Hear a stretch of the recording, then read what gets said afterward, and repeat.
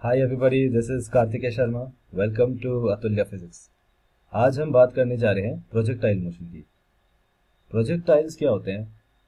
If you talk about the earth और अगर आप अर्थ पे कोई भी चीज़ को फेंकते हो तो जो ट्रैजेक्टरी वो ट्रेवर्स करती है जो पाथ वो लेती है उसको प्रोजेक्टाइल बोलते हैं।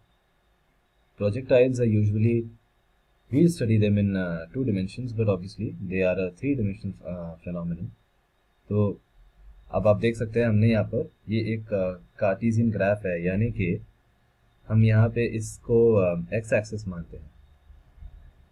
एंड इसको हम वाई एक्सिस लेते हैं।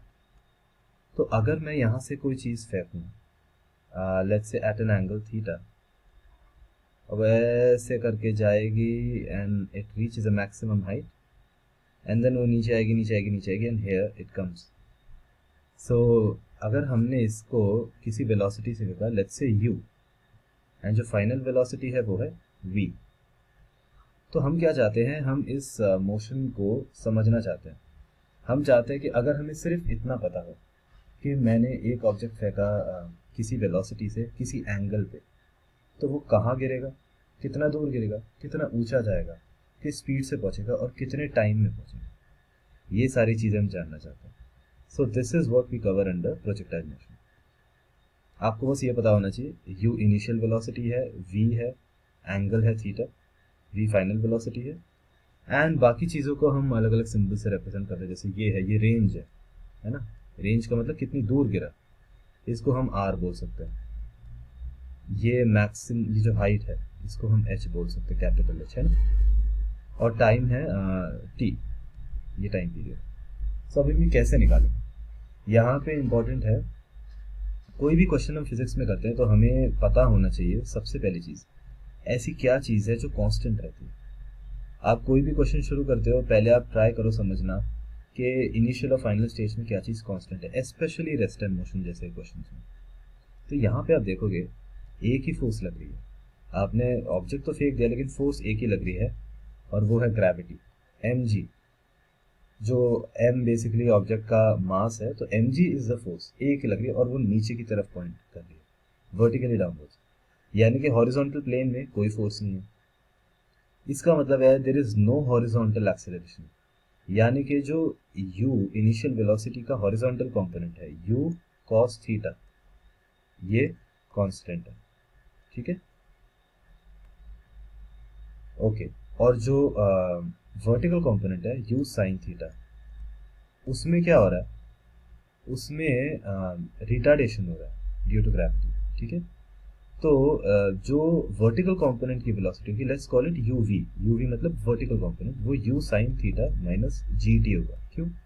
G is the deceleration due to gravity and time is basically time हम यहाँ पे इसको एक इंडिपेंडेंट वेरिएबल मान रहे हैं। This is not the same as this इसको इनफैक्ट हम रिप्रेजेंट करते हैं कैपिटल टी से। Which is the time period the total time period of the project motion तो अब हमको निकालना है सब कुछ ठीक है? सबसे पहले हम ये देखेंगे एच uh, कब आएगा? एच तब आएगा जब uh, इसके ऊपर ऑब्जेक्ट नहीं ट्रेवल करेगा। ये नहीं होगा। यानी कि जो यू वी है ये ज़ीरो हो जाएगा। So the time for which u v is zero is आप यहाँ से कैलकुलेट कर सकते हो g t is equal to zero plus u sine theta यानी कि टी की वैल्यू क्या आ गई आपकी? U sine theta upon g ये कौन सा टी है? ये टी है यहाँ वाला टी सो टी एच अगर टी एच हमको आ गया तो टोटल टाइम पीरियड कितना होगा? See in any symmetrical situation जहाँ पे कोई भी, इस केस में आप देख सकते हैं कि ग्रेविटी कांस्टेंट है। यहाँ से यहाँ पहुँचने में जितना टाइम लगेगा, उतना ही यहाँ से यहाँ पहुँचने में लगेगा। तो जो टोटल टाइम पीरियड टी है, वो हो जाएगा इसका दुगना। Two u sine theta upon g ये आ गया आपका टोटल टाइम पीरियड ठीक है? अब हम इसको के मिटाते हैं, काफ़ी टाइम लग गया था तुम्हें बोल रहा जब आपको पता चल गया कि टोटल टाइम पीरियड क्या है। आपको पता चल गया कि टोटल टाइम पीरियड क्या है। टोटल टाइम पीरियड है t is equal to two u sine theta by g जहाँ पे थीटा आपको पता है angle of the projectile motion the initial angle u initial velocity and g is deceleration due to gravity इस case में deceleration लेकिन इसको बोलते हैं acceleration due to gravity okay आपको टाइम पीरियड पता चल गया. अब मान लो रेंज निकालनी है.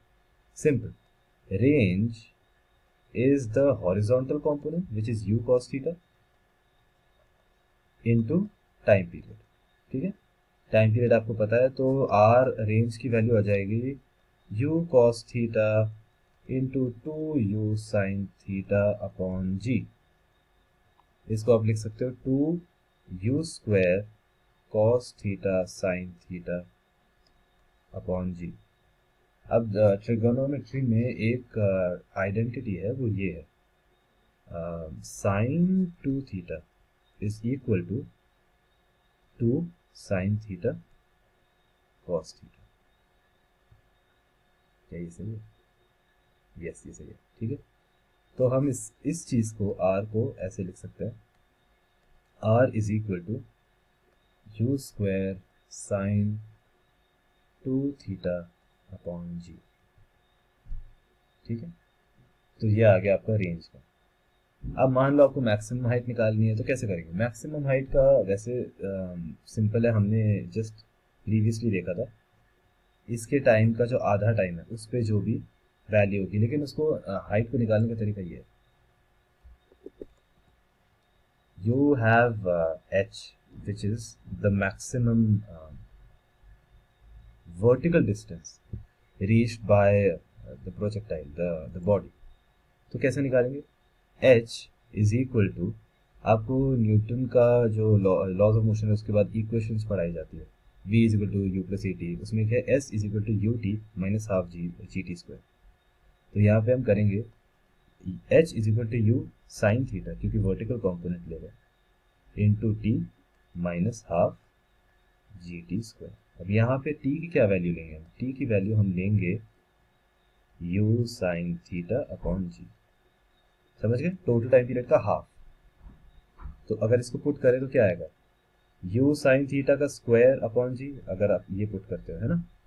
तो u square sine square theta upon g minus half g into वापस u square sine square theta upon g square अब इस जी से ये जी कट जाएगा, ठीक है?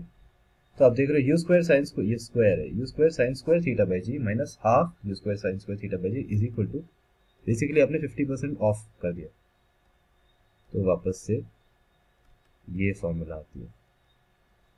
So this is h the maximum height that is reach by the projectile अब ये ऑब्वियसली नॉर्मल uh, जो स्टैंडर्ड कंडीशन है यानी कि आपने जिस हाइट से ऑब्जेक्ट को फेंका पूरा हॉरिजॉन्टल सरफेस है वो वापस उसी हाइट पे आके गिरेगा। अलग अलग केसेस भी हो सकते हैं इंक्लाइन प्लेन से फेंक दिया आपने या नीचे खड़े होकर इंक्लाइन प्लेन पे फेंका पहाड़ पे फेंका कुछ भी। वो केसेस हम आगे डिस्कस करेंगे। So guys this is the basics of projectile motion हमने जस्ट बेसिक फार्मूलाज देखी है उनको कैसे अप्लाई करना है। कैसे थोड़ा सा डिराइव करना है, कैसे सोचना है? किसी प्रॉब्लम को टैकल करने से पहले वेरिएबल्स को देखना है, क्या कांस्टेंट है, क्या वेरी कर रहा है। So this is all for this short lecture आगे चल के अगर आपको if you are interested to know more about physics and about Atulya physics then please join a group my WhatsApp is nine double five seven three one zero four two seven आप मेरी group join करिए we'll regularly update you we'll keep posting lectures and other fun stuff thank you so much have good day